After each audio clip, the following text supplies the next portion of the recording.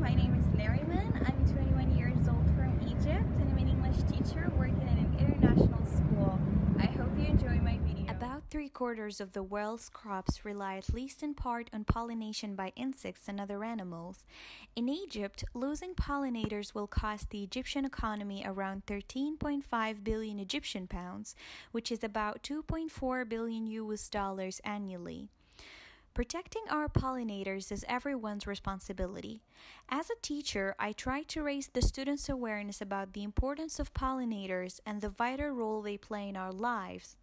I explain to them the significance of insect plant relationship, that insects depend on plants for food, and that plants need insects for reproduction, and consequently the production of fruits, vegetables, seeds, and nuts. Wherever you are, you too can take part in protecting pollinators. You can talk to your family, friends, neighbors, and colleagues about the role played by pollinators in food production and the factors that lead to the decrease in their number, such as global warming, habitat loss, and the use of pesticides. You can also tell them that we can save our pollinators by increasing the local floral diversity in the backyard garden of our houses, public gardens, parks, and in newly planned cities.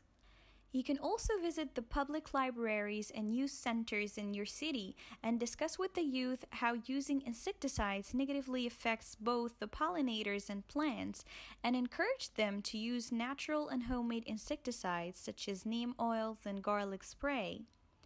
Moreover, you can visit the countryside and explain to the farmers how important it is for pollinators to grow different types of crops in the same area and to replace the use of pesticides with other safe methods such as trap crops.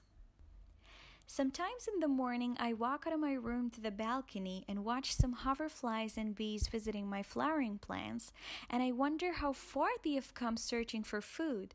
This sight makes me so happy as I realize how a very simple action can make a big difference. So make your own contribution and take a step toward protecting our pollinators because every little counts.